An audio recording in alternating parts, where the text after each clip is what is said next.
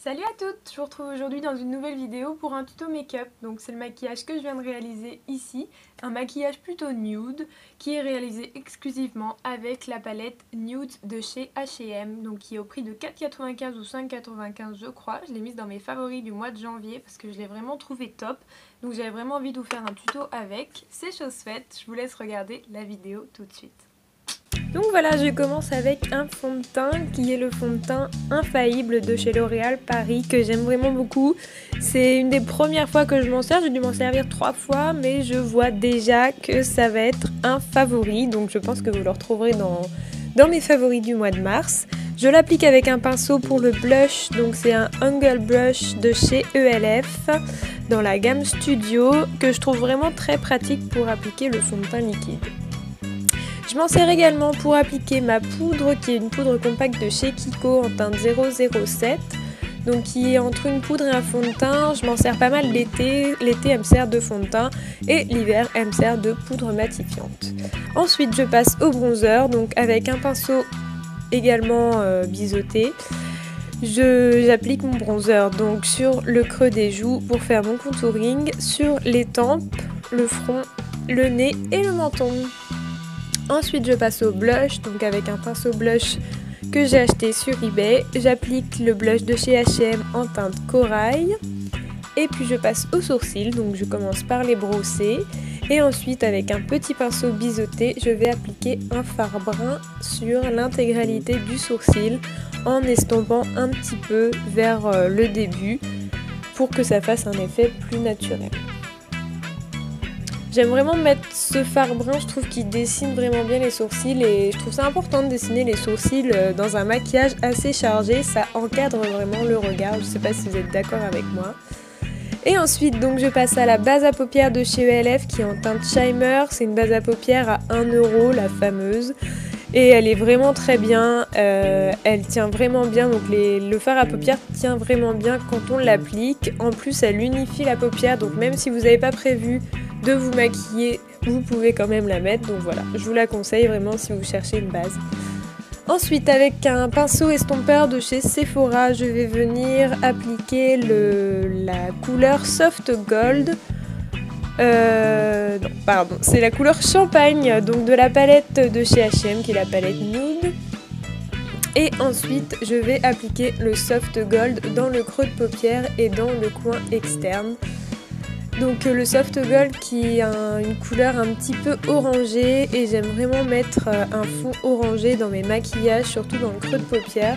Je trouve que ça va vraiment avec toutes les couleurs d'yeux, que ce soit vert, bleu ou marron. Ça fait vraiment ressortir n'importe quel maquillage. Donc voilà, j'aime vraiment bien mettre ça en creux de paupière. Euh, dans ce maquillage, je vais me servir toujours du même pinceau, donc qui est le pinceau que vous voyez là. Euh, c'est un pinceau donc normalement voilà plutôt estompeur, donc euh, de chez Sephora.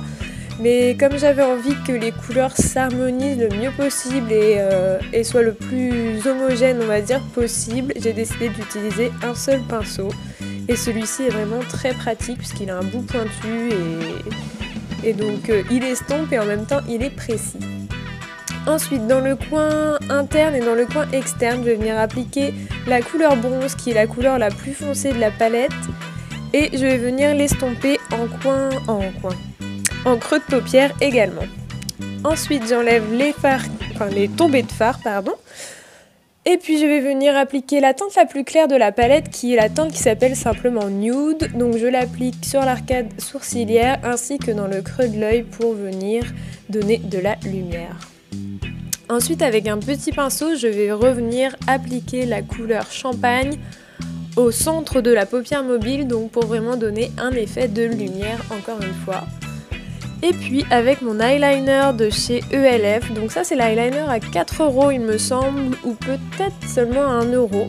Enfin en tout cas il est très bien, ça fait déjà un moment que je l'ai et puis euh, voilà j'alterne avec d'autres mais celui-là j'y reviens vraiment souvent que je trouve qu'il est très précis euh, et, vraiment il a une bonne couleur. Des fois vous avez des eyeliners qui sont noirs mais je sais pas si vous voyez ce que je veux dire, qui sont noirs mais en même temps ils paraissent un petit peu trop clairs, genre gris foncé. Bref, celui-là vraiment je l'adore, donc j'ai formé une petite virgule en coin externe pour encadrer le regard encore une fois. Et ensuite, je vais revenir prendre mon fard bronze et l'appliquer en ras de cils inférieur avec un petit pinceau pour vraiment finir le regard. Après cette étape, on va passer au mascara. Donc j'utilise toujours le même mascara, c'est le Prose donc de chez Carrefour en teinte ultra black, je crois. Donc euh, voilà, je l'aime vraiment beaucoup. Et ensuite, donc, on va passer au-dessous de l'œil, donc anti-cerne. Anti-cerne qui est de la même marque que le mascara, donc c'est la marque Prose de chez Carrefour, donc les cosmétiques Paris. Et donc c'est un anti-cerne stick, euh, donc il couvre vraiment très bien je trouve, même si là ça fait un peu yeux de panda.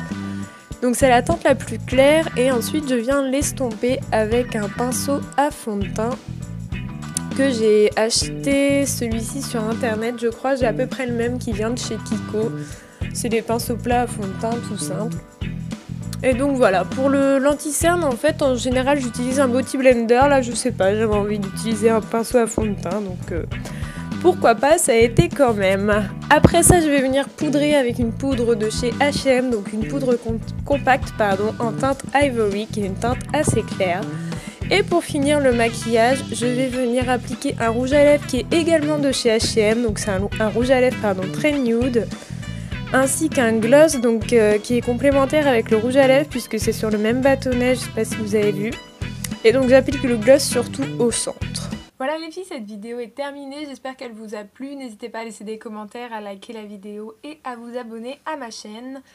En attendant une prochaine vidéo, prenez soin de vous et moi je vous fais plein de bisous.